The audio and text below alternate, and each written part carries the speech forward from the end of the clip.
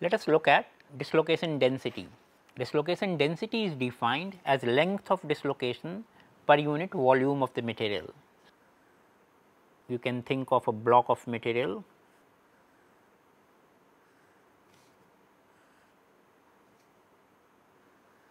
and when we were discussing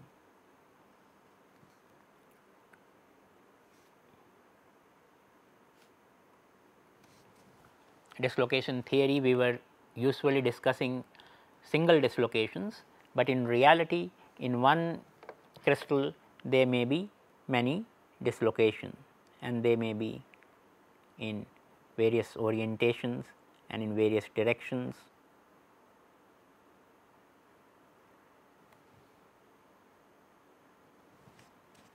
and so on. So, the total length of dislocation line divided by the volume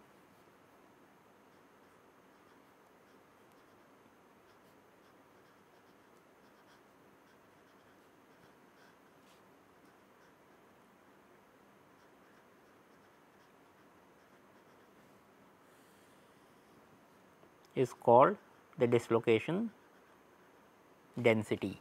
Its unit of course will be meter divided by meter cube. So, sometimes it is written as meter per meter cube or sometimes even simply as per meter square cancelling 1 meter from numerator and denominator you can write it simply as per meter square. But there is another interpretation of this per meter square that other way of defining the dislocation density is number of dislocation intersections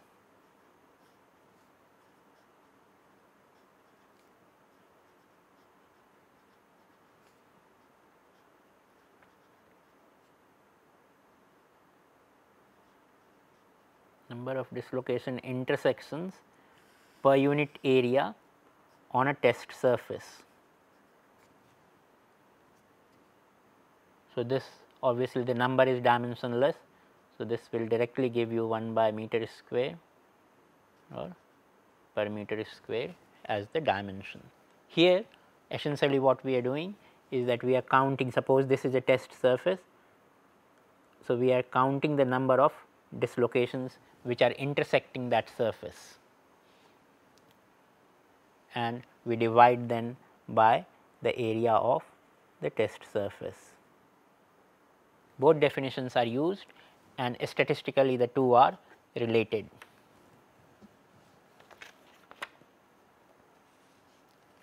Now, in let us look at how the dislocation density varies during various kind of processes. In when well annealed crystal means a crystal which has been made and is has been heated above a certain temperature for a long time in such processes the dislocation density comes down.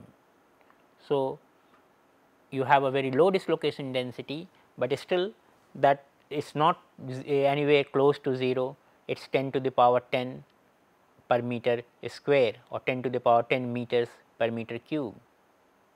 If you lightly cold work, cold work is essentially plastic deformation, plastic deformation.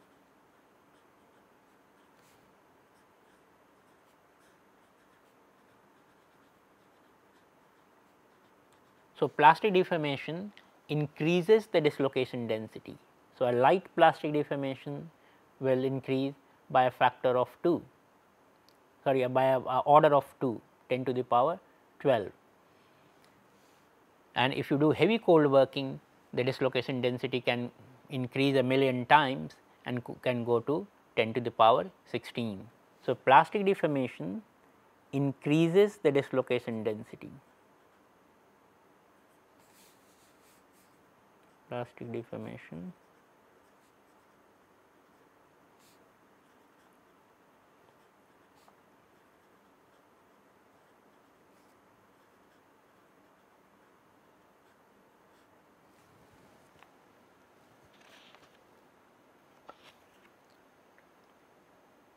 Now, let us look at mm, the, the picture which we had seen last time that how by continuous progress of an edge dislocation we can create plastic deformation. So, an edge dislocation which was on the second plane here now moves to the third plane to the fourth plane and finally comes out. But when it comes out we are not calling this dislocation you can see that in all these three situations there were deformation surrounding the dislocation. The region around the dislocation was disturbed but once the dislocation comes out and the plastic deformation is complete, then the planes are now straight and there is no deformation. So, this will not be considered as a half plane and a dislocation. This is just a surface step.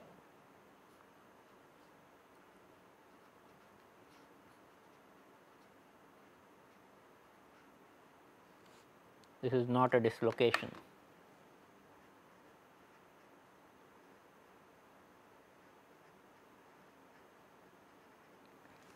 So, this means that a dislocation has to come out and disappear to create a unit surface step.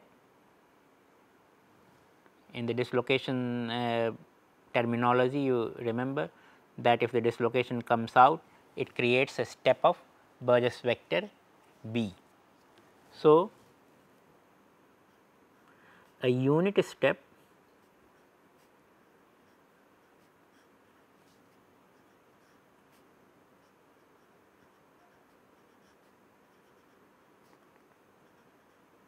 of Burgers vector B is created.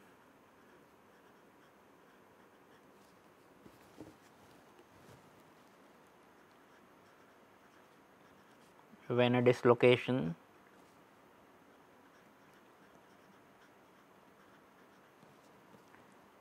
sweeps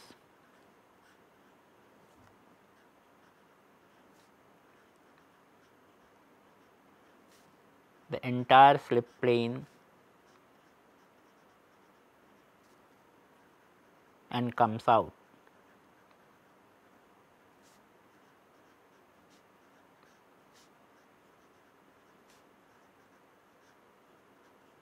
of the crystal and this coming out this coming out is disappearance of dislocation.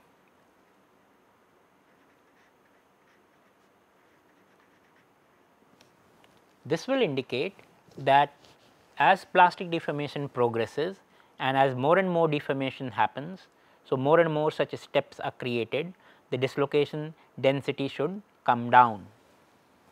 But we have already seen that actually in plastic deformation the dislocation density is increasing. So, these two views seem to be in contradiction that for plastic deformation the dislocation has to come out. So, the dislocation density should come down, but experimentally we see that the dislocation density is increasing.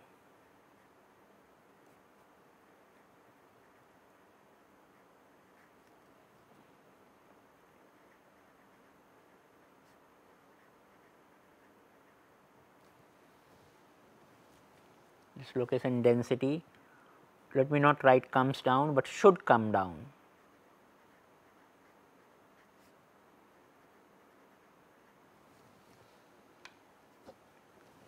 Dislocation density should come down, but actually is increasing and this is the uh, problem or puzzle which was solved by um, by another proposal which we will discuss in the next video.